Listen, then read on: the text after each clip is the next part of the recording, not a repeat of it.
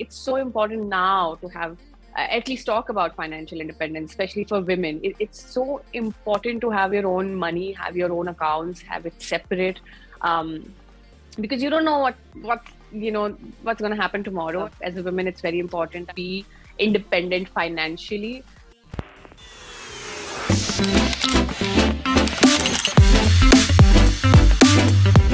Hello and welcome to Sisterhood with me, Shaili Chopra the one show where women confront their challenges and confess their insecurities, and we together figure out what to do about them.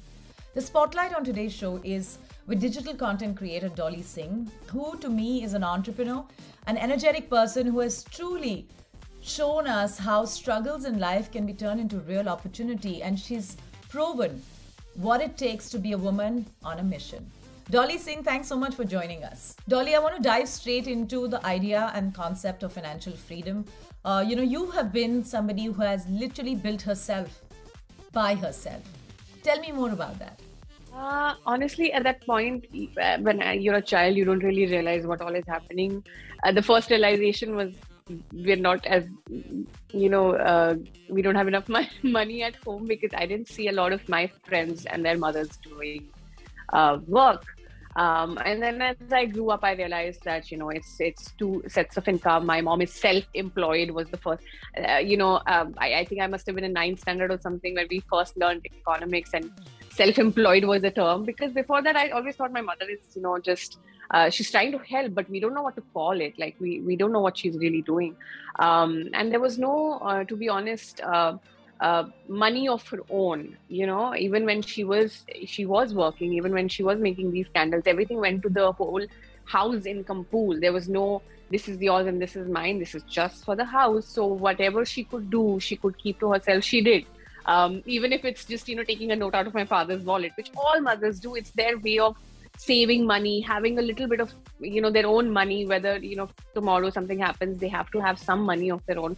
But i feel like it's so important now to have uh, at least talk about financial independence especially for women. It, it's so important to have your own money have your own accounts have it separate um, because you don't know what what you know what's going to happen tomorrow. And it, it, definitely because of which it becomes i feel like for me it's a uh, it feels like a dream uh, because you know i'm finally doing something like that. Of course i've been making money through content creation and all of that has been happening but to just see yourself as as a brand owner as someone who's made something there's a product that you're selling there's a product that reaches people and it's tangible they can touch it feel it smell it. It it honestly feels amazing. So yeah. I, I, as a woman just you know it, it feels great to be doing something like this and also to be appreciated for something like this. Because i would have never thought you know, growing up, what was the idea of money? I mean, you know, growing up in a middle class home, things are always tough. Everybody has to get things going. You know, I was raised like that. You tell me about your relationship with money and how did you deal with it? I think my, my relationship with money in itself is not that great.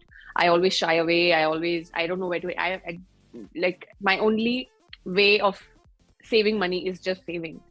you know, just let it be in my bank account. I'm not going to spend it. And that's how it's saving. I'm, I'm really trying to learn about investments now at 30. And I really urge every woman who's watching this to really start doing that. It's very important. And don't let your relationship with money affect it. But I'm, I'm trying my baby steps. You know, I'm, I'm taking those. Um, and it's it's a struggle you know it, it's very weird to realize that your relationship with money, with something like money like a note is it, it can be so in a way traumatizing you know. I don't know what to do with it. Like i don't know how to deal with it. I don't uh, sometimes i don't even know how to tell my parents that you know this is what i'm like how to explain it to them that this is how my industry works. And while i may maybe earning certain amount right now tomorrow i might not be. You know to them it's like do you have stable income? Like that's more important. But to make them realize that you know i know it's very unstable and there's a shelf life and all of that and we might be able to overthrow all of that but there is always an exception. There's always a but there. And I don't know what will happen tomorrow. So, you know, it's it's it's a it's a little scary in those terms financially. It takes a lot to live in a very cutthroat world of digital content creation. How do you self motivate and stay up to speed with your own sanity at some level? It does get very hard to kind of differentiate yourself from other people a lot of times, even for yourself. You're like, okay, you know, I'm doing the same thing that 10 people are doing, and I haven't really made any original video in a while. So like, what am I up to? Um, it's the constant like you have to keep asking yourself where you're at.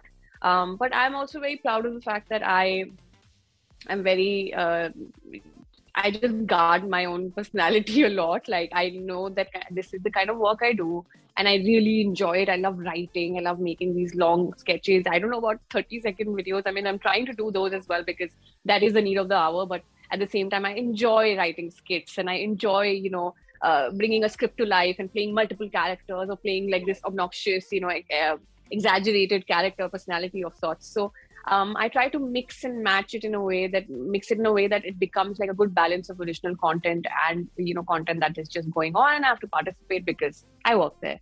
Um, so that's what I try to do to safeguard myself. And I tell everyone that you know at the end of the day, especially the kids who are joining these days in terms of content creation, I always tell them that you know you can do as many trendings as you want, trending stories, trending videos, trending audios, trending dance moves.